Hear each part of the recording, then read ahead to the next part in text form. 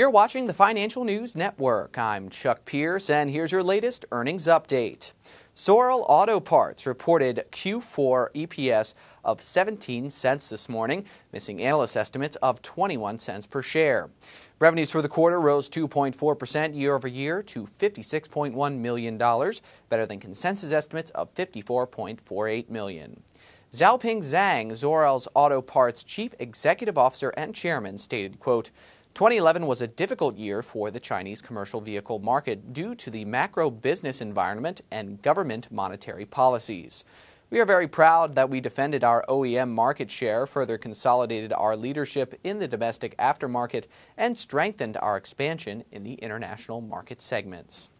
SORL Auto Parts has a potential upside of 51.1% based on a current price of $3.31 and an average consensus analyst price target of $5.